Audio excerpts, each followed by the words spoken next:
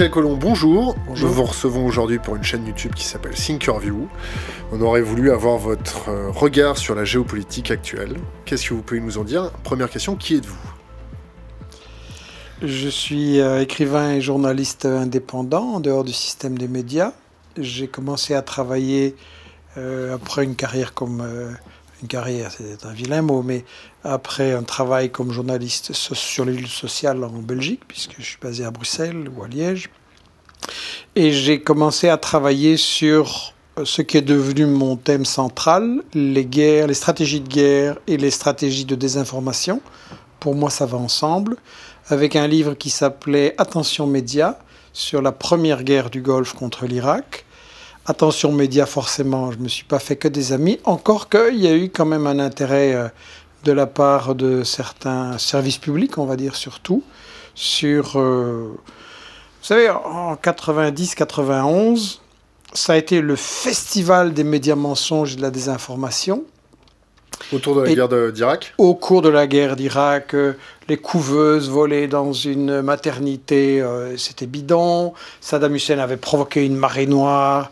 Et Michel Chevalet sur TF1, euh, présenté par Poivre d'Arvor, disait Regardez Saddam Hussein, comme il est méchant, il a fait délibérément envahir le Golfe là par une marée noire de pétrole. Vous pouvez déléguer l'histoire des bébés dans les couveuses L'histoire des bébés dans les couveuses, c'était ceci. Ça se passait en novembre 90 et à une commission d'enquête dépendant du Congrès aux États-Unis, il y a une jeune fille de 15 ans qui vient témoigner en disant voilà, elle pleure toutes les larmes de son corps et elle dit j'étais euh, infirmière à Kuwait City, la capitale occupée alors par les troupes irakiennes depuis deux, trois mois. Et je travaillais dans cette maternité. Et un jour, les soldats irakiens sont venus. Ils ont pris toutes les couveuses. Il y en avait 32. Et ils ont jeté les bébés par terre. Et comme c'était des prématurés, forcément, les condamnés à une mort atroce. Et donc, voilà, euh, les Irakiens, c'est vraiment une occupation épouvantable. donc, la jeune fille, la jeune fille c'était son père, c'était Et la jeune fille, donc, euh, Forcément, c'est une histoire qui a été popularisée. Mitterrand en a parlé, Bush en a parlé, Amnesty a fait des rapports, le vol des couveuses. C'était donc un argument de choc pour dire il faut aller euh, écraser ce Saddam Hussein qui n'épargne même pas les bébés. Et après la guerre, évidemment, tous les journalistes, quand le Koweït est euh, libéré de l'occupation, on va dire, tous les journalistes se précipitent à la maternité, on va avoir un scoop, on va avoir les confidences de tous ces médecins qui ont assisté à ça. Et les médecins disent nos couveuses, elles sont là. Il ne s'est rien passé. Il s'est rien passé du tout. La jeune fille était euh, en fait la fille de l'ambassadeur du Koweït à Washington, à l'ONU. Elle est à New York, pardon, à l'ONU. Elle était euh, pas plus infirmière que vous et moi. Elle avait passé toutes sa, euh, les dernières années là avec son père. Et c'était une totale mise en scène par une firme qui est de public relations qui s'appelle euh, Hill Knowlton. Il y en a toute une série aux États-Unis qui font ça. Et en fait, c'est quoi? C'est des firmes de com qui se chargent de donner une image positive à des gouvernements étrangers. Euh, Israël fait ça, euh, l'Arabie saoudite, oui, l'Afrique du Sud faisait ça au temps de l'apartheid, et le Koweït faisait ça. Évidemment, donner une image positive du Koweït, ce n'était pas évident, donc on a plutôt fait dans la diabolisation de Saddam Hussein et on a complètement fabriqué cette histoire de, des couveuses volées. Et ça, c'est un festival de médias mensonges que j'ai résumé dans ce bouquin. On était en 91 Oui, ça c'est le point de départ de mon travail là-dessus. Et après 91, vous êtes arrêté sur quoi? Mais après, il y a eu la guerre contre la Yougoslavie en deux phases. D'abord en Bosnie, en Croatie, Bosnie, 91 à 95, puis en 99 euh, la guerre euh, soi-disant pour libérer le Kosovo, et en réalité pour détruire la Yougoslavie qui était un pays indépendant, une armée indépendante qui ne voulait pas entrer dans l'OTAN, et un pays où il y avait pas mal de choses qui n'allaient pas, mais il y avait aussi des choses qui allaient pas mal. Et notamment, il y avait une sécurité sociale importante, il y avait une sécurité d'emploi. Dans les entreprises, les travailleurs élisaient leurs directeurs. Donc ça, quand les multinationales ont... Euh, quand il y a eu la chute du mur, la chute euh, du socialisme à l'Est, la Yougoslavie était le seul pays qui résistaient, qui ne se mettaient pas à genoux devant les multinationales. Donc, j'ai montré dans deux livres, Poker Menteur et Monopoly, le temps à la conquête du monde, qu'en fait, c'était une guerre de recolonisation des zones qui avaient été perdues. Et donc, moi, je travaille sur ça, euh, sur ce thème-là. Je n'avais pas prévu au départ de faire ça, mais le livre Attention Média a très très bien marché. C'était la première fois qu'on faisait une analyse critique de médias en Europe. Il y avait eu aux États-Unis Herman et Chomsky qui avait publié un bouquin qui m'avait inspiré, qui était très important, qui s'appelle Manufacturing Consent, la fabrication du consentement. C'est-à-dire qu'ils avaient fait un genre de test média. Ils analysaient la couverture des deux camps dans les grands médias des États-Unis, quantitativement déjà, euh, et puis aussi euh, qualitativement dans l'analyse. Et ça, ça m'avait inspiré. Et j'avais décidé d'appliquer ça à cette guerre du Golfe euh, en 90-91. Et après, comme ça a eu beaucoup de, succès, beaucoup d'impact, les gens étaient très curieux sur justement est-ce que les médias me manipulent à ce moment-là, euh, ben, euh, les États-Unis n'ont pas arrêté de me donner du travail, puisque euh, à cette époque-là, on nous avait annoncé un nouvel ordre mondial, il n'y aura plus de guerre, etc. Et depuis, les guerres ne se sont pas arrêtées. Et donc, j'ai couvert ça, puis la Libye, puis d'autres, et c'est devenu un peu ma spécialité de base comme écrivain, on va dire. Donc la propagande de guerre. Stratégie de guerre et la propagande de guerre. Donc la stratégie de guerre, qu'est-ce que vous pouvez me dire de Karl von Clausewitz? Oh, j'en suis pas un spécialiste, mais je vois que la guerre se déroule sur différents terrains. Et en fait, moi je dis toujours, la guerre ne commence pas par des bombes, mais par des médias mensonges. Et je pense qu'il y a maintenant, du côté des États-Unis, euh, oui, surtout, une stratégie de guerre globale.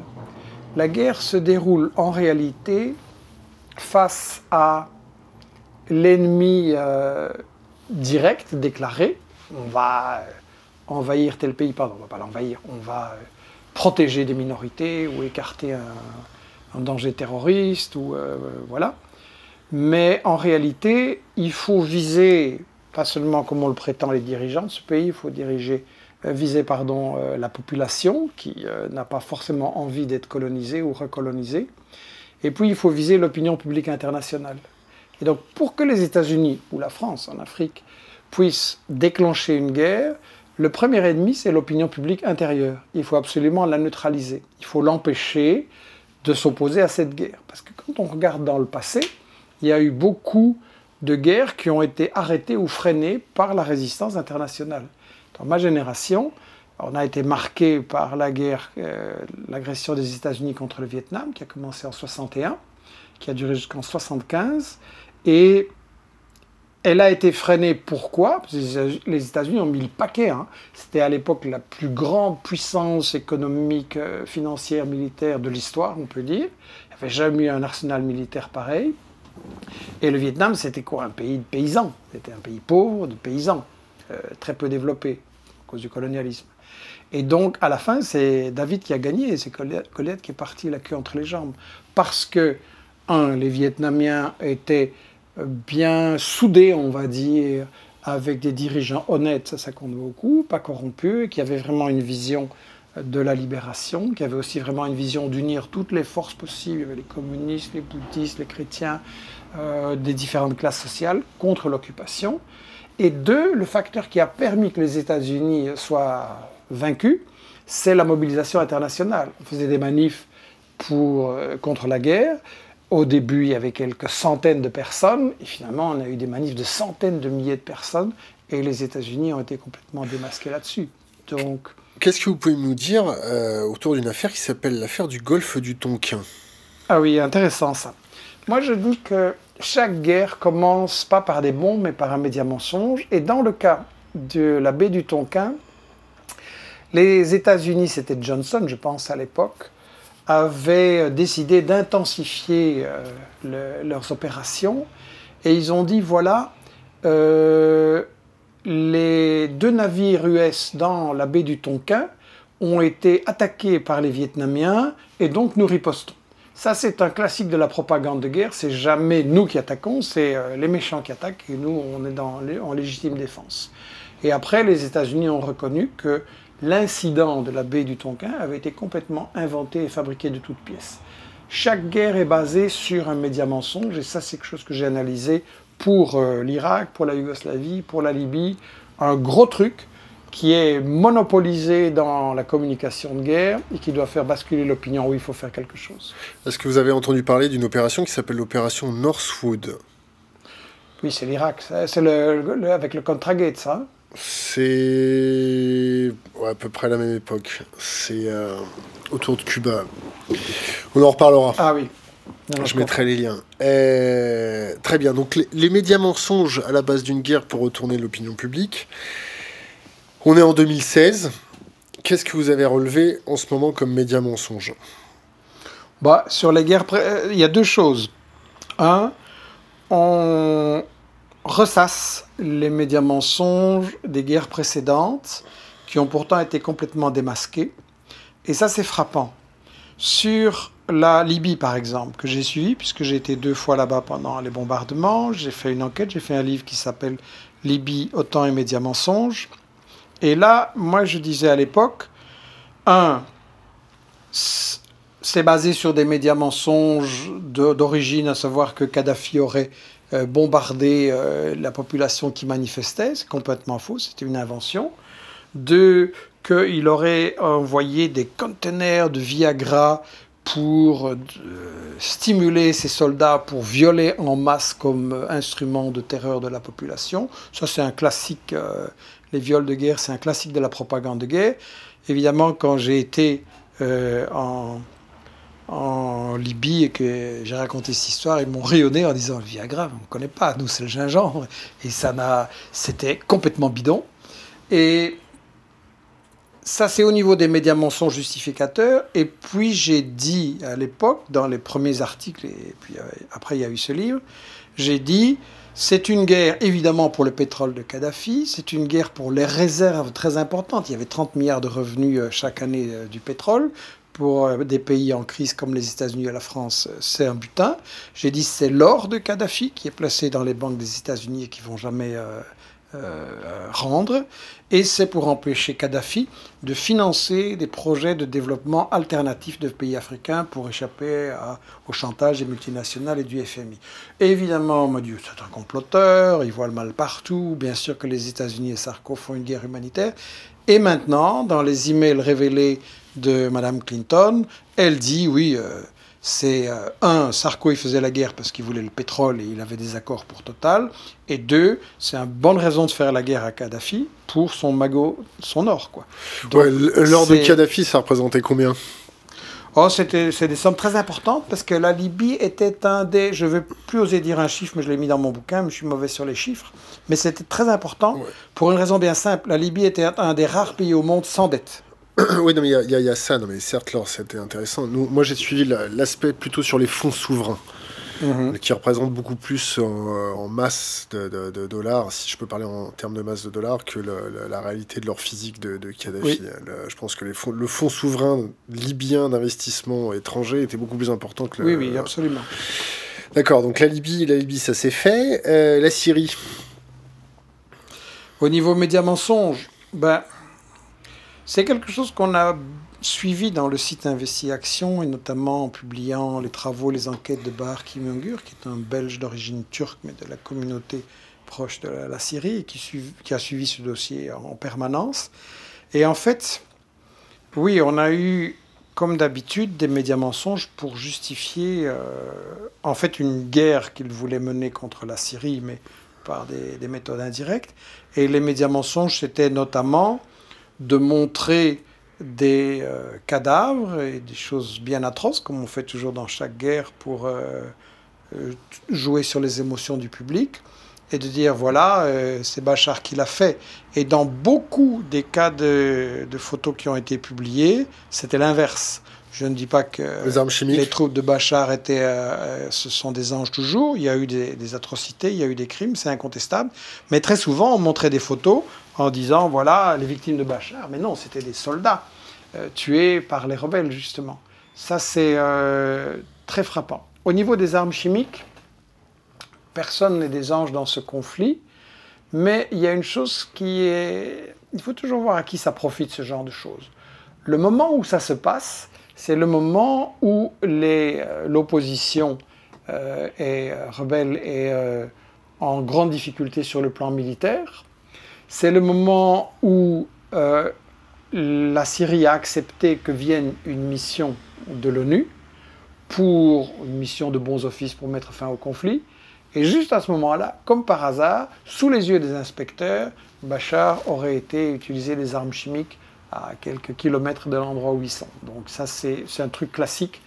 En réalité, il y a eu beaucoup de documents des États-Unis euh, et notamment de Seymour Hersh, un journaliste d'investigation extrêmement important aux États-Unis, qui a beaucoup de confidence de l'establishment militaire, qui a dit non, non, euh, ça c'est complètement bidon.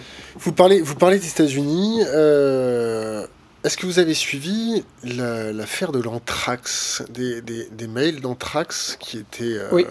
Qu'est-ce que vous pouvez nous en dire? Les principes de la propagande de guerre, c'est de cacher l'histoire, cacher les intérêts économiques, diaboliser, effrayer, euh, inverser la victime et euh, l'agresseur et l'agressé, monopoliser le débat, censurer les informations adverses. Dans la diabolisation, il faut absolument flanquer la trouille. C'est quelque chose que Michael Moore a bien montré dans Bowling for Columbine, où il montre que Bush, dans sa croisade pour attaquer, au départ, il voulait attaquer encore beaucoup plus de pays que ce qu'il n'a fait, il avait vraiment besoin de flanquer la trouille aux, citoyens des États-Unis avec le terrorisme et évidemment ce, cinéma sur l'anthrax et sur les armes de destruction massive, tout ça c'est euh, au même moment, ce sont des recettes. Il y a, je parlais des public relations, il y a des psyops en Grande-Bretagne et aux États-Unis, là c'est même assez ouvert. En France, ça existe aussi. Voilà, des experts de la manipulation psychologique. Et ces gens-là sont des pros. C'est-à-dire qu'ils analysent quels sont les thèmes qui peuvent marcher pour flanquer la trouille ou pour justifier une guerre. Je ne sais pas si vous avez vu un film euh, qui s'appelle Wag the Dog aux États-Unis, qui est un film très intéressant euh, où un président c'est déjà dans les années 90, je crois. Un président euh, est en déclin dans les sondages parce qu'il a couché avec une fille, etc. Et ça ne se peut pas là-bas. Et il, euh, il faut absolument qu'il remonte. Euh, l'élection, c'est bientôt. Il doit remonter dans les sondages. Donc, ces experts en com et en psyops décident il faut un ennemi. Le problème, c'est que pour le moment, il n'y a aucune tension particulière, il n'y a pas d'ennemi, il n'y a pas vraiment de gros conflits. Donc, on va fabriquer un ennemi et quel pays ça peut être, celui-là, non, etc. Et donc finalement on décide que ça va être l'Albanie. Et on va être l'Albanie parce que personne ne la connaît, on ne sait même pas très bien où c'est, et donc on va pouvoir fabriquer.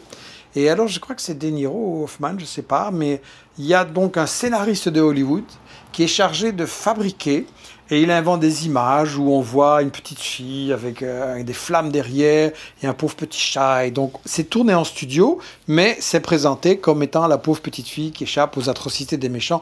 Il faut que les États-Unis aillent euh, protéger euh, cette pauvre petite fille et son chat.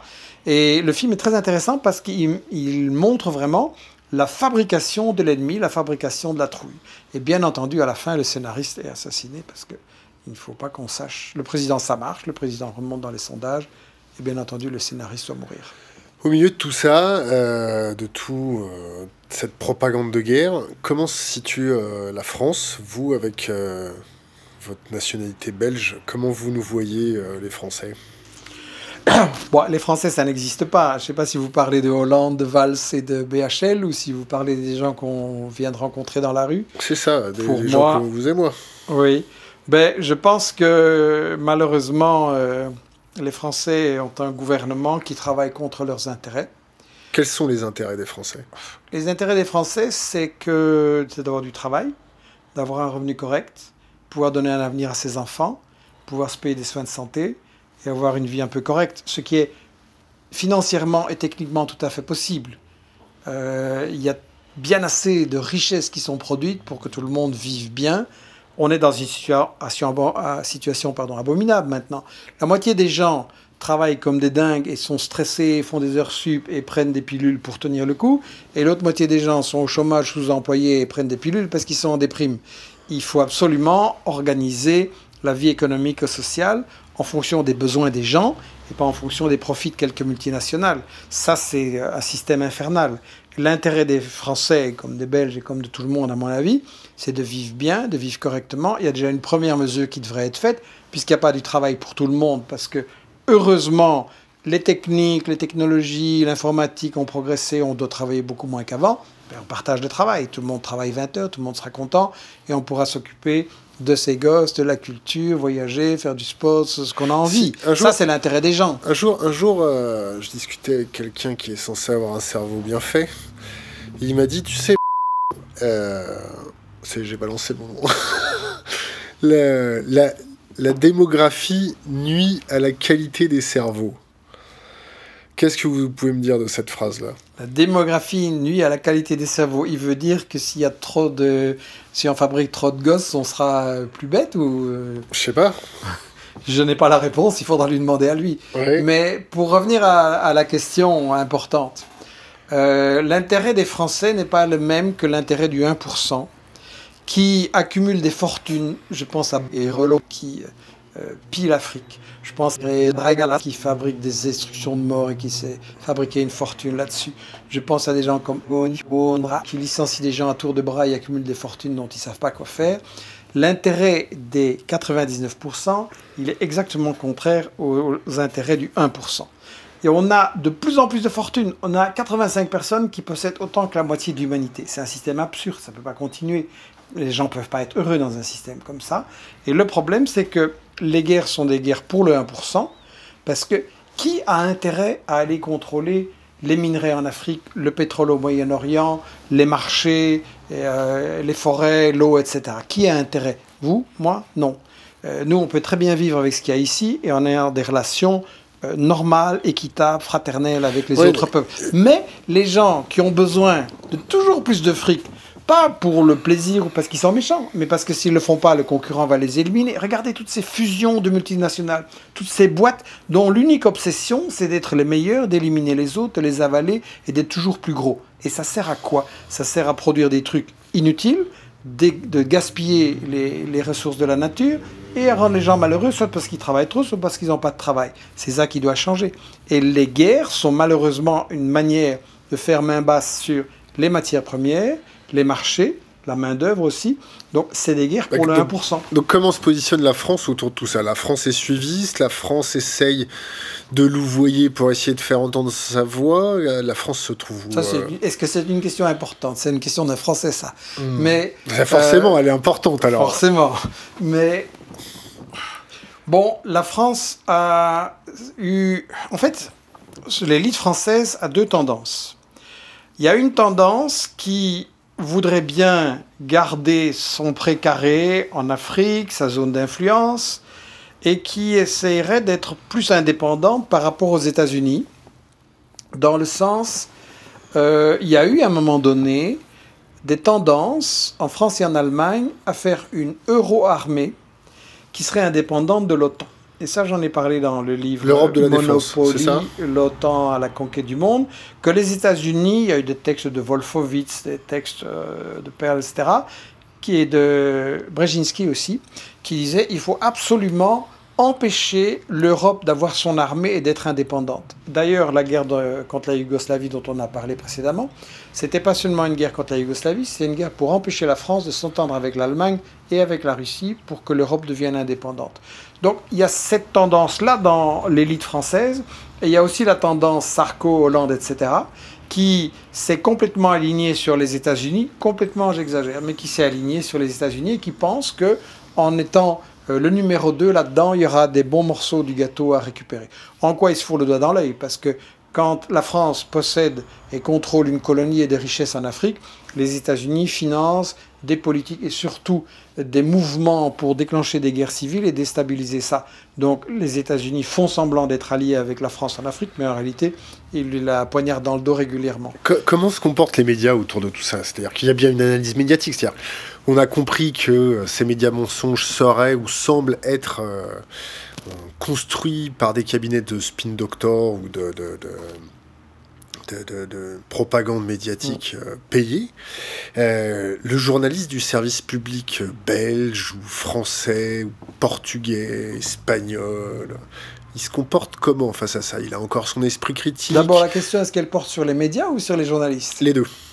Eh ben, c'est pas du tout la même chose. le journaliste, les journalistes, est-ce que c'est eux qui décident dans les médias? Moi, je fais toujours la distinction. Je crois qu'il y a différentes catégories de journalistes. Il y en a des qui sont très curieux et honnêtes et qui essaieraient vraiment de faire passer des choses. Le problème, c'est que dans les médias, c'est pas le journaliste qui ont le pouvoir, c'est euh, le patron tout simplement, comme dans toute entreprise. Et il faut voir qu'au niveau international et au niveau français, c'est très clair, qui possède les grands quotidiens ou les grandes télés? Ce sont tous des milliardaires. Vous avez euh, marchand d'armes, vous avez Hérolo, euh, Pierre de l'Afrique, vous avez marchand d'armes, vous avez Yard, euh, qui, euh, qui est un des, des, personnes les plus riches en, Israël. Vous avez, vous avez tous ces gens-là. Donc l'info que les gens reçoivent, que les 99% reçoivent, est faite par les 1% en fonction de leurs intérêts. Alors vous allez me dire, oui, mais c'est pas parce qu'il est patron qu'il va mettre à la porte le journaliste qui lui déplaît. Bien si, on a plein d'exemples justement où des journalistes n'ont pas pu euh, exprimer ou ont été carrément virés. Un exemple qui n'est pas révolutionnaire de gauche, dans Paris Match, quand Genestar, qui était le rédacteur chef ou le directeur, je crois, à l'époque, publie des photos montrant que la femme de Sarko n'est pas allée voter à la fameuse élection présidentielle de 2007, ce qui est une info euh, franchement un petit peu anecdotique. Et il est viré pour ça, parce que Sarko téléphone et directement le patron vire euh, le, le. Il y a, eu des preuves de ça Il y a eu des preuves de ça Oui, ça a été reconnu. C'est Alain Genestar, ça a été tout à fait reconnu, oui, absolument.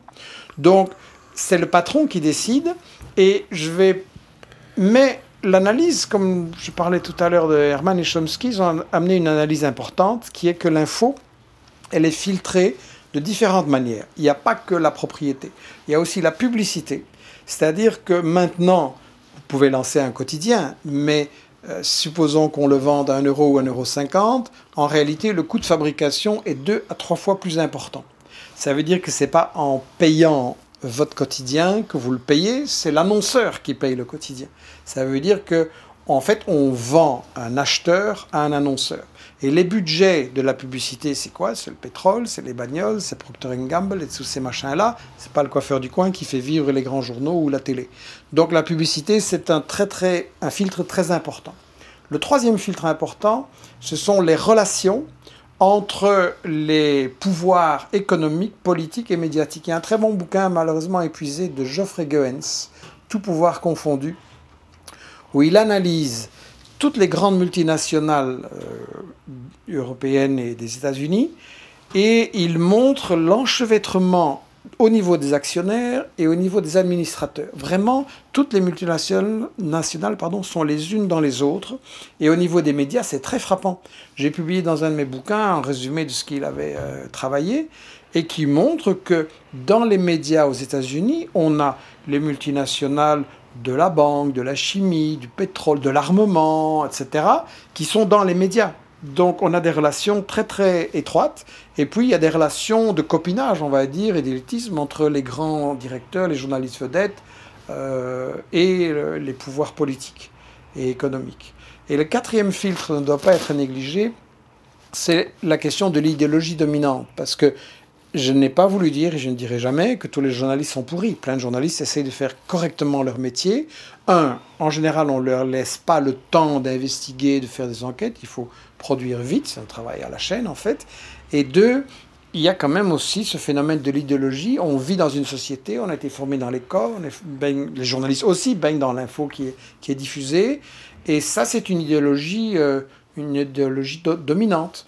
Euh, un un journaliste vedette de TF1 disait au moment de la guerre du Golfe, là dont je parlais, la première, disait, voilà, nous avons d'un côté le monde civilisé et de l'autre côté le monde arabe, textuellement à l'antenne. Donc on est dans une pensée extrêmement raciste et colonialiste, ça, ça reste très très fort. Euh, Régis Debré avait dit cette phrase que j'aime beaucoup de citer, parlant justement de ce phénomène de... Il disait, euh, ils ont enlevé leur casque, mais dessous, la tête est restée coloniale. le mode de pensée reste celui de l'Européen blanc supérieur avec ses valeurs et que les Arabes, les Noirs doivent apprendre de l'Européen civilisé. Sur, votre chaîne YouTube, vous avez annoncé il y a un ou deux mois euh, que Laurent Fabius euh, et, le gouvernement de François Hollande étaient responsables des attentats avec... Euh, le Bataclan, je crois bien, euh, par euh, le fait qu'ils aient financé euh, le terrorisme. Oui. Est-ce que vous pouvez rentrer plus en détail sur cette Oui, ça ne vient pas de moi, hein. ça vient de différents enquêteurs, dont de nouveau Seymour Hersh, qui est un journaliste très très intéressant, qui devrait vraiment être aux États-Unis, donc qui devrait vraiment être diffusé, parce qu'il a les confidences de gens de l'establishment. Par exemple, quand euh, Obama ou Clinton euh, décident une guerre, vous avez des généraux qui sont pas d'accord, qui disent euh, on peut pas la gagner ou ça va provoquer des effets pires et donc qui balancent des choses. Et Seymour Hersh avait effectivement avait fait des révélations par rapport à tout ça. Ouais, ouais, vas-y. Hein. Il avait fait des révélations par rapport à tout ça. Il avait dit quoi? J'ai oublié la question. Ah, la question c'était euh, pourquoi vous incriminiez euh, Laurent Fabius voilà. dans les attentats? Voilà. Et lui, donc, Seymour a annoncé que, en fait, ce qu'on a appelé les euro-djihadistes, ces jeunes qui partent se battre en Syrie, le mot djihad ne convient pas, parce que dans le Coran, le djihad, c'est essentiellement le combat avec soi-même pour être un homme plus juste, donc ça n'a rien à voir. Mais ces jeunes donc, qui ont été envoyés là-bas, ça a été un travail organisé par la CIA avec des camps d'entraînement. Il a donné les dates et euh, les noms euh, des lieux et même les instructeurs. Ça a été financé par l'Arabie saoudite et le Qatar, nos chers amis investisseurs euh, dans notre économie, dans nos clubs sportifs et dans nos restaurants, et prédicateurs de haine un peu partout. C'est passé par la Turquie et donc, on a eu ce phénomène que les États-Unis et la France avaient décidé de renverser le gouvernement de Bachar el-Assad. C'est le plan de recolonisation de l'ensemble du Moyen-Orient. Après la Libye, c'était la Syrie, puis ce sera le Hamas, le Hezbollah, et ils voulaient l'Iran, mais ça, ça va être plus difficile. En tout cas, la résistance palestinienne, il faut la priver de tous ses arrières. Et donc, cette opération-là, ça a été en fait Étant donné que les États-Unis, Obama a compris euh, l'échec de Bush, il n'est plus question d'envoyer des troupes US au sol comme en Irak ou en Afghanistan. Ça coûte cher, on n'en sort pas et on, devient une cible. Donc, on fait la guerre par proxy war, comme ils disent en anglais, c'est-à-dire par intermédiaire. Ça peut être des euh, pays voisins ou des mouvements sécessionnistes, ça, ça marche euh, parfois, mais en Syrie, il n'y avait pas les forces pour faire ça. Donc les seules forces qu'ils ont trouvées, c'est de constituer une armée d'euro-djihadistes, quand même 35 000, venus de toute une série de pays, avec l'argent de l'Arabie saoudite et du Qatar pour financer ça. Et c'est pas nouveau, c'est exactement ce qui avait été fait contre l'Afghanistan, l'opération Ben Laden. Brzezinski, dont je parle, l'avait organisée, et c'est en fait une opération Ben Laden bis. Donc quand j'ai dit que Fabius et compagnie étaient responsables des attentats de Paris, c'est parce qu'en fait, ces gens-là, euh, ces gens qui ont fait ça, ont été envoyés en Syrie pour faire ça contre la population syrienne. Parce qu'on massacre des chrétiens, des musulmans. Euh, Donc là, c'est le chien qui se retourne contre la Donc c'est le boomerang, c'est Frankenstein, exactement. Comment vous voyez les 30 prochaines années sur le, sur le prisme de lecture terroriste de cette euh, grande nébuleuse terroriste? Sur le plan du terrorisme, je pense que c'est devenu une arme privilégiée des États-Unis et de leurs alliés, mais c'est les États-Unis qui sont le maître d'œuvre là-dedans. Pourquoi? Parce que, comme je le disais, les États-Unis n'osent plus envoyer leurs troupes occuper un pays comme ils faisaient avant. Ils s'exposent, ça coûte cher, ça soude la population contre eux, donc c'est pas productif. Donc on est obligé de trouver des remplacements. Alors évidemment, ils ont essayé aussi de faire en sorte que les Européens se battent pour eux et financent une partie de leur guerre. Mais ça, ça marche moyen. Donc on essaye de trouver des puissances locales.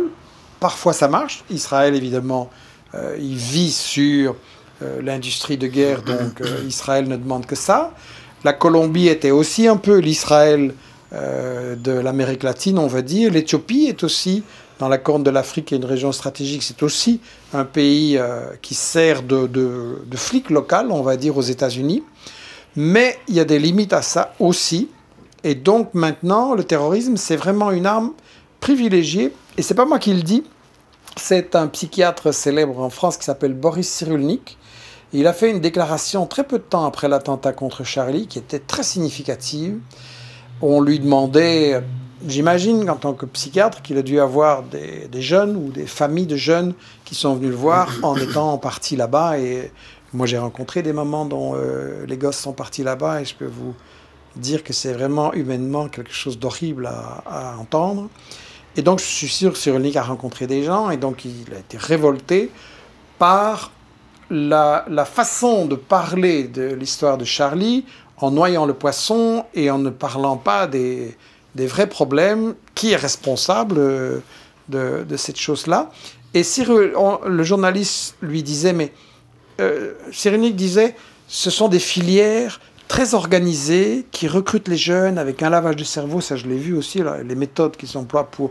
On prend des jeunes de 15, 16, 17 ans qui sont en, adolescence ou paumés, c'est facile de manipuler. Et donc Cyrulnik disait, c'est des filières bien organisées. Alors le journaliste lui dit, filière de qui Et il dit, par les gens du pétrole et de la drogue, très clairement, parce que c'est un moyen pas cher pour déstabiliser des gouvernements et contrôler des régions et des ressources. Donc je crois que c'est ça le point fondamental, c'est que le gouvernement français et ses alliés ne sont pas la, solution face au problème du terrorisme, ils sont la cause du problème. Et les États-Unis, qui sont évidemment les maîtres d'œuvre, sont ceux qui utilisent à une grande échelle le terrorisme. Il faut rappeler qu'ils l'ont fait contre Cuba, qu'ils l'ont fait contre le Venezuela, contre des pays latino-américains. On a financé des coups de la CIA pour faire exploser un avion avec des sportifs cubains ou dans des hôtels à La Havane. Donc, et ils sont réfugiés à Miami, les gens qui ont fait ça. Est-ce que vous pouvez nous parler des réseaux Gladio? Oui. Ben, les réseaux Gladio, pour les jeunes, c'est un phénomène très important. Dans les années 50, euh, au moment de la guerre froide, moi j'ai vécu ça, j'étais petit garçon. Dans les années 50, on était éduqué dans les Russes vont nous attaquer. Les Russes vont envahir l'Europe et on va tous devenir, être obligés de devenir on va tous devenir russes. On va tous devenir les Russes, être communistes. On devra, on va perdre notre maison, on va perdre notre voiture, on devra partager les femmes parce que c'était, on était vraiment dans les trucs euh, incroyables sur la propagande. On partage jamais les hommes. Anticommunistes. Ah non, c'est euh, vraiment c'est fort. Et donc, on a euh, l'OTAN à organiser des réseaux pour le cas où il y aurait des gouvernements de gauche qui viendraient en Europe, c'était surtout la France et l'Italie, un peu la Belgique aussi, parce que euh, en années 50, après 40-45, le capitalisme a produit la Deuxième Guerre mondiale, les patrons en France ont beaucoup collaboré avec euh, le nazisme, en Belgique se sont réfugiés à Londres en attendant que ce soit fini, ou ont collaboré à Bruxelles aussi, et donc les gens ont compris que la guerre mondiale est le produit du capitalisme en tant que lutte pour la suprématie mondiale, les matières premières, les colonies, que c'est une guerre pour le fric tout simplement. Donc les réseaux gladiaux. Et donc ils cherchent autre chose. Et les réseaux gladiaux, c'est au cas où ces gens décideraient qu'ils veulent un gouvernement de gauche avec des communistes, on va faire des attentats, on va déstabiliser le pays, on va semer la terreur pour... Il y a eu des attentats. Et il y a eu des attentats. Il y a eu des attentats dans les années 50, il y a eu des attentats à la gare de Bologne avec, je crois, 280 ou 300 morts. On a mis des bombes à la gare de Bologne et qu'est-ce qu'on a dit? C'est les anarchistes. Et donc, ça sert à faire passer des lois répressives contre la gauche. Et en réalité, ça a été reconnu par un organisateur de l'attentat. En réalité, c'était une provocation des réseaux Gladio et de l'OTAN pour semer le bordel en Italie, flanquer la trouille, on revient à ce qu'on avait abordé tout à l'heure, aux Italiens, allez, il nous faut un gouvernement de droite, il faut des lois très fortes. Donc c'est le recours au terrorisme pour déstabiliser. Vous avez vu, euh, en France, on a eu récemment une grande campagne contre les théories du complot, les complotistes euh, et euh, les casques en aluminium. Est-ce que vous pensez que, puisque notre histoire n'est pas assez énoncée clairement, comme les réseaux Gladio, comme les gens ne savent pas ça. Mm. Est-ce que cette antériorité historique est utilisée par les, ce, que, ce que nous on appelle les nouveaux gourous, qui disent voilà, Euh, les réseaux Gladio, bah, ils nous l'ont mis à l'envers. Euh, les attentats Koulibaly, c'est la même chose. Alors nous, on n'est pas du tout d'accord avec cette vision-là, l'histoire de euh, le, rétroviseur qui passe du noir à l'argent, mais c'était pas la bonne voiture, mais hmm. on n'est pas trop d'accord avec ça, on n'est pas même du tout d'accord avec ça. Est-ce que vous pensez que pour supprimer certaines théories du complot, il faudrait se retourner sur notre passé pour expliquer aux hmm. gens, ça s'est produit, mais là, sur ce coup-là, c'est pas le cas. Hmm. Qu'est-ce que vous en pensez Tout à fait. Je pense que la question des complots, du complotisme et des obsédés de la théorie du complot, c'est une question importante. Euh, je suis en train de travailler là-dessus et euh, ça va sortir bientôt. Euh, en fait, il faut dire, un, que les complots, ça existe. Je veux dire, quand les États-Unis organisent le renversement d'Allende pour le remplacer par le fasciste Pinochet, le meurtre de Mumba par Mobutu, oui, c'est un complot. Euh, ça existe sur le plan politique, sur le plan économique, sur le plan militaire aussi. Quand Bush et Blair disent il faut attaquer Saddam parce qu'il a des armes de destruction massive et qu'ils savent que c'est faux, ben c'est un complot. C'est la définition du dictionnaire sur un complot. Deuxièmement, il faut dire que c'est pas l'histoire ne se résume pas à des complots et c'est même pas l'essentiel. Tout à l'heure, j'ai essayé d'expliquer que le système économique et social dans lequel on vit, il est injuste parce qu'il est basé sur le fait que 1% décide de ce qu'on va produire dans les usines et ailleurs, de comment l'économie va être organisée, qui va avoir de l'argent, qui ne va pas en avoir. Mais ça, ce n'est pas un complot. Ce sont des règles de fonctionnement économique et c'est pas quelque chose qu'il contrôle que, que, vous voyez avec vos yeux d'anciens militants communistes ou des choses comme ça, non? Vous avez une vision gauche. C'est clair que l'analyse de Marx permet de comprendre comment fonctionne l'économie. Et je suis je pense qu'il faut éviter les, lancers d'étiquettes et que les étiquettes. C'est ce qui a marqué sur votre fiche Wikipédia. Ah oui, bien sûr.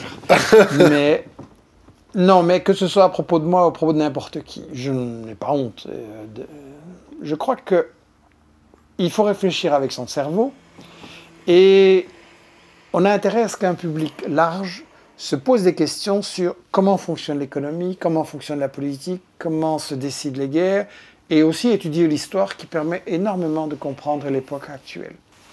Donc, sans les étiquettes, oui, je pense que l'économie, Marx a très bien expliqué comment ça se fait qu'il y en a qui sont très riches et qui sont très pauvres, et qu'il y a un lien entre les deux, c'est des vases communicants. Euh, Hugo, avant Marx, ou en même temps, euh, mais je ne crois pas qu'ils se connaissaient, avait dit euh, c'est de l'enfer des pauvres qu'est fait le paradis des riches. Donc c'est un bon résumé de l'exploitation.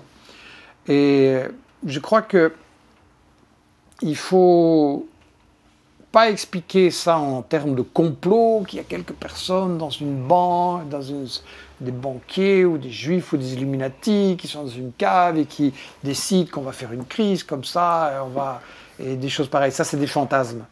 Et on voit beaucoup de fantasmes et de théories du complot pour expliquer le monde, pour une raison bien simple, c'est que les médias ne permettent pas de comprendre le monde, les médias cachent à chaque guerre la vérité, cachent le fonctionnement de l'économie. Je veux dire, on invite tout le temps des, économistes qui euh, serinent que le 1% a raison et qu'il n'y a pas d'alternative, et tous les autres sont, sont boycottés. Donc évidemment que les gens se posent des questions, comme ils n'ont pas la réponse, ils vont chercher sur Internet. Sur Internet, on peut trouver de bonnes choses et de moins bonnes, et forcément, ils peuvent tomber dans des pièges. Et c'est très important effectivement d'étudier l'histoire, mais aussi l'économie, les stratégies de guerre, parce que moi je pense que souvent on dit ce truc-là c'est trop compliqué, les gens ne vont pas comprendre, donc on simplifie. Non, il faut essayer de communiquer l'essentiel, de donner des faits, de permettre aux gens de réfléchir dans un langage simple, avec des mots que tout le monde comprend, et tout le monde peut comprendre. Moi, j'ai déjà donné des formations sur l'économie ou la philosophie ou les stratégies de guerre à des ouvriers qui avaient arrêté les écoles à l'étude à 16 ans, à des ménagères qui n'avaient jamais fait d'études. Et donc, tout le monde peut comprendre ça. Et je vais dire, les gens d'en bas, parfois, comprendront beaucoup mieux euh, le fond des choses que les gens qui croient qu'avec leur grande éducation, ils savent tout. Et je crois que c'est ça, pour répondre à cette histoire du complot, les médias n'informant pas, refusant le débat avec les gens qui défendent d'autres points de vue, une autre analyse ou d'autres sources tout simplement qu'eux, il provoque ce sentiment. On nous cache tout, donc on va chercher des choses midi à 14h, alors que le monde est parfaitement connaissable et analysable euh, s'il y a une vraie info correcte. Et c'est ça qu'avec Action on essaye de faire. Donner aux citoyens les moyens eux-mêmes d'analyser le monde et de se faire leur opinion. Vous, avez parlé des Balkans, on va revenir sur, euh, sur les Balkans. Est-ce que vous connaissez le général Wesley Clark? Bien sûr. Est-ce que vous connaissez ses déclarations? Ah oui, qu'est-ce qu'il a cité dans. Qu'est-ce qu'il a dit? Qui est ce monsieur? Et, qu'est-ce qu'il a fait? Ben, Wesley Clark est un général qui a bombardé la Yougoslavie et j'étais sur place pendant euh, les bombardements. Il était le chef d'état-major de l'OTAN, donc c'était le chef des opérations. Et je peux témoigner que c'est un criminel de guerre et que s'il y avait une justice internationale, il aurait dû être jugé. Parce que j'ai été sur place, j'ai vu des hôpitaux bombardés, j'ai vu qu'ils étaient venus bombarder un hôpital. J'ai vu une infirmière, en entendant qu'il y avait les sirènes, s'est dit, elle était en congé, mais ma place était à l'hôpital. Elle arrive à l'hôpital. Ils reviennent bombarder une deuxième fois pas bombardée, je veux dire avec des euh, bombes à fragmentation, donc elle a été amputée. Euh, c'était vraiment terrible. J'ai vu des, gosses, euh, j'ai vu des usines détruites, comme par hasard. Toutes les usines qui étaient nationalisées yougoslaves ont été détruites et toutes les usines qui appartenaient à des multinationales étrangères, celles-là étaient intactes. Donc c'était vraiment une guerre économique dégueulasse et Wesley Clark était un criminel de guerre, ça c'est clair.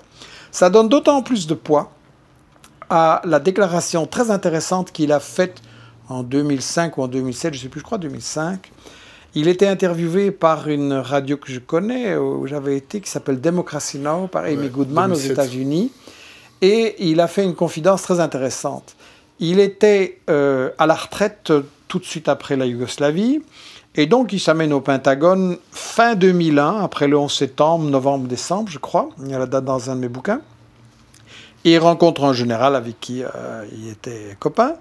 Et ce général lui dit voilà, je viens de recevoir un mémo d'en haut, donc de Rumsfeld, le ministre de la Guerre, et le mémo dit Nous allons, nous, États-Unis, nous allons prendre sept pays, en commençant par l'Irak, l'Afghanistan, le Soudan, la Libye, le Liban, la Somalie et pour finir l'Iran. Sept pays. En 2001. Donc, ça veut dire que tout ça a été programmé. Après, on dit oui, c'est parce que Saddam a des, armes de destruction massive, parce que le Soudan, ils font ceci ou ils font ça, ou Kadhafi, c'est tout programmé. Et après, on saute sur le prétexte ou on fabrique le prétexte. Et donc, Wesley Clark, c'est un aveu très intéressant parce que c'est pas un type de gauche, c'est pas un complotiste. Il dit lui-même, voilà, les États-Unis, ils ont un plan pour recoloniser tout le monde arabo-musulman.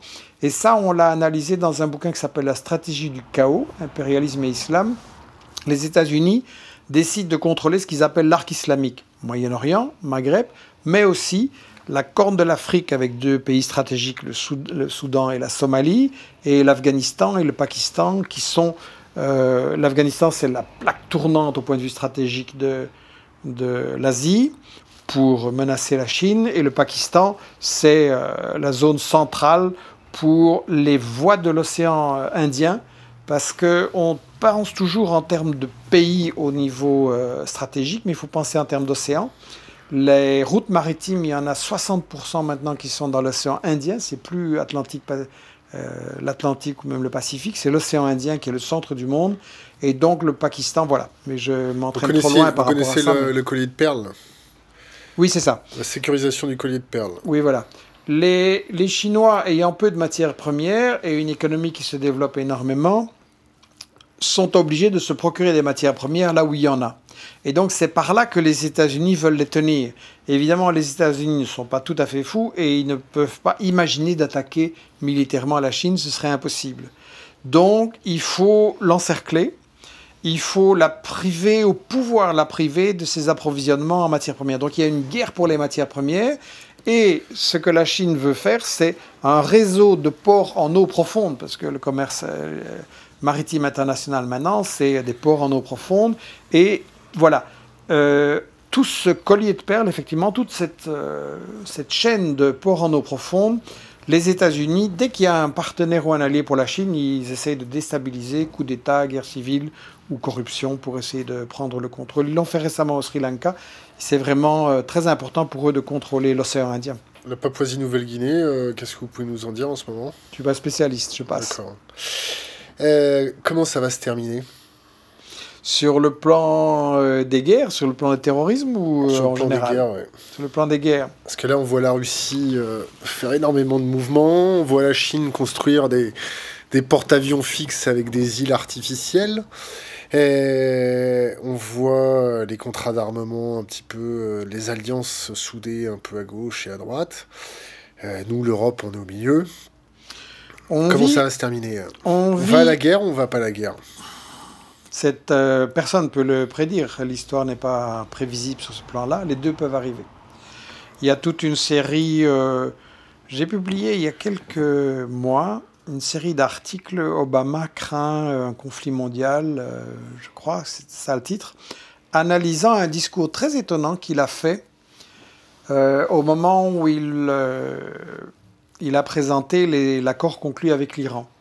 Il avait évidemment une opposition très forte des républicains au Congrès, même chez les démocrates aussi, qui disaient il ne faut pas euh, faire un accord avec l'Iran, il faut les attaquer, il faut continuer.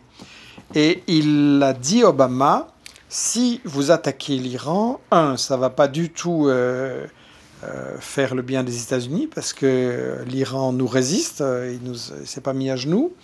Deux, ça va nous discréditer au point de vue international. Jusqu'à présent, on a pu compter sur l'aide de la France et des Européens pour faire la guerre contre la Libye ou la Syrie. Mais si on fait ça tout seul, étant donné que Peugeot et compagnie ne rêvent que d'une chose, c'est des contrats de Téhéran, ils vont pas nous suivre, c'est fini. Les Allemands non plus n'en veulent pas. Donc il a dit à ses opposants aux États-Unis, euh, il faut euh, arrêter de penser qu'on peut faire la guerre contre l'Iran. Et il a dit aussi une chose intéressante, et il a dit euh, on ne va pas pouvoir contre, contrer comme ça la volonté des Russes et des Chinois indéfiniment. Les Chinois, ils possèdent une grande partie de la dette des États-Unis, parce que l'État des États-Unis est un État en faillite. S'il n'y a pas les pétromonarchies et la Chine pour financer sa dette, euh, l'économie est en faillite littéralement. Et donc il a dit voilà, si on fait ça, euh, on va affaiblir terriblement les États-Unis. Alors on se trouve maintenant dans une période historique très importante et très dangereuse. En fait, il y a deux courants aux États-Unis. Il y a le courant qui dit nous sommes en déclin économiquement, financièrement, militairement. Il faut essayer d'être malin. Il faut faire des guerres sans que ça se voit trop. Il faut toujours avoir des alliés. Il faut essayer de neutraliser les puissances qui pourraient s'opposer. Il faut faire la guerre intelligemment, et ça veut dire aussi par la corruption, par la CIA, par des guerres civiles, et de la façon la moins visible possible. Ça, c'est un courant. C'est Obama, c'est Brzezinski, euh, des gens comme ça. L'autre courant, c'est euh, le courant néocon, on va dire, Bush, mais Hillary Clinton, elle est plutôt de ce courant-là, il ne faut pas croire, c'est pas parce que c'est pas républicain ou démocrate. Bernie Sanders, il est comment là-dedans? Ah oui, non, là, euh, je pense que ça, je voterais pour lui aux États-Unis si j'étais là. Mais je veux dire que les néocons, ont un plan qu'au contraire, il faut aller à la confrontation avec la Russie, qu'il ne faut pas laisser faire Poutine, et donc on le provoque. On est en train de le provoquer de toutes les manières pour essayer de faire une escalade. Et les néocons sont décidés à faire ce qu'il faut pour briser la résistance de la Russie, de la Chine, de l'Iran bien entendu. De l'Inde. Là, ils nous emmènent vers euh, une troisième guerre mondiale. Pas programmée ou voulue, mais quand on lance une escalade contre d'autres puissances de cette manière-là, quand on refuse de négocier et de trouver des solutions euh, diplomatiques, c'est clair que ça peut mener sur un conflit épouvantable. Les préconisations pour éviter le conflit épouvantable? La chose qui manque terriblement en Europe et aux États-Unis, mais bon, je parlais en tant qu'Européen, c'est un mouvement anti-guerre. Il y a eu des manifestations, j'en parlais, avec des millions de gens dans le monde contre la guerre du Vietnam, encore en 2003 contre la guerre en Irak, mais à part ça, quand les États-Unis ou la France attaquent un pays et que ce pays soit une démocratie ou une dictature, ça ne change rien parce que c'est pas une question, pas ça, c'est guerre pour le fric.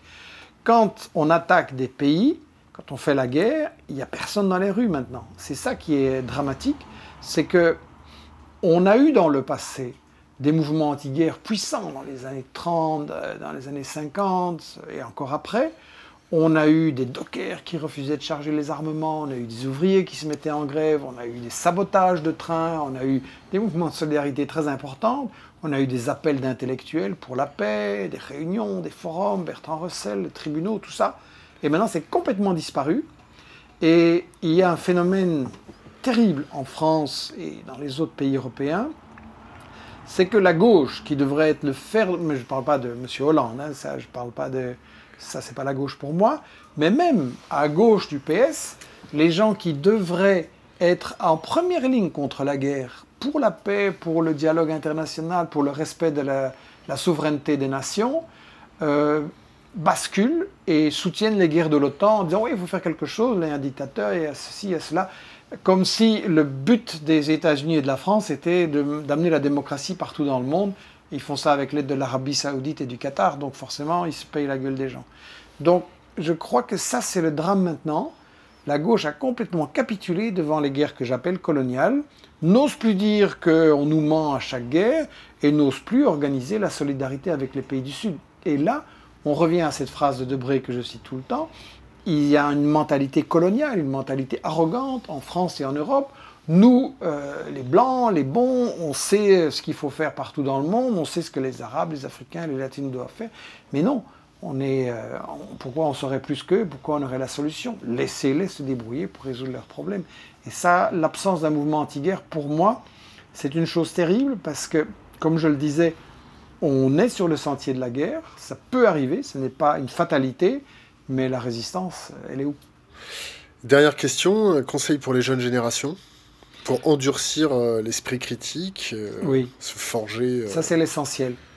Je crois que la jeune génération a vraiment intérêt, si elle veut vivre dans un monde qui ne soit pas épouvantable au niveau des guerres, de la destruction de la nature et de cette manière de répandre la haine que tout le monde se déteste dans tous les sens, je crois que la jeune génération a vraiment intérêt à prendre en main son combat pour la justice, pour la paix, pour euh, la nature, et que le combat, il passe par la question de l'info. Et donc, Investigation, c'est de ça qu'on s'occupe, on est un média, c'est ça notre métier, on va dire. Il n'est pas possible de faire la guerre sans manipuler les gens. Donc il est très important de vérifier les infos. Et je parle de guerre déclarée ou non déclarée, de guerre militaire ou de guerre sociale ou culturelle, etc. Il faut vérifier les infos absolument. et c'est tout à fait possible. Il faut que l'info devienne quelque chose qui n'est pas réservé aux experts, aux professionnels, mais devienne une activité citoyenne. C'est trop important, l'info, pour notre vie aujourd'hui et demain à tous, pour la laisser aux mains de gens pour qui c'est soit du fric, soit des intérêts de propagande. Il faut que l'info soit faite par les citoyens. Je pense que ça devrait commencer à l'école, mais là, je rêve. Et donc, il faut organiser des ateliers parallèles ou avec les profs qui euh, sont motivés là-dessus, mais en parallèle, il faut organiser des ateliers pour apprendre à regarder la télé ou les images, les manipulations que ça peut entraîner, pour apprendre à faire une analyse critique sur les infos qu'on reçoit, à chercher les sources, à chercher l'autre version, à écouter les méchants et à se faire son opinion par soi-même. Je pense que c'est quelque chose que je dis très souvent. C'est qui les méchants Si on veut se battre. C'est qui les méchants? Ben, les méchants, c'est toujours ceux qui ne sont pas d'accord avec nous, ceux qui ne sont pas d'accord de donner le, pétrole gratuitement, ou le cuivre, ou le coltan, ou euh, le canal de Suez ou le canal de Panama. Les méchants, c'est ceux qui ne sont pas d'accord avec le 1% des multinationales, c'est ceux-là qui sont diabolisés. Et donc je crois que si on veut euh, vraiment, comme je le dis, créer un monde, et je pense vraiment que c'est possible, quand je ne sais pas, mais je pense vraiment que c'est possible, créer un monde où il n'y aura plus l'exploitation et tous les uns contre les autres et la haine et la destruction de la nature, je pense que l'info est la première des batailles et c'est pour ça que le premier conseil que je donne aux jeunes et à tout le monde, c'est euh, d'appliquer cette idée, prendre en main la bataille de l'info, c'est-à-dire nous sommes tous des journalistes. Michel Colomb, merci. Merci à vous.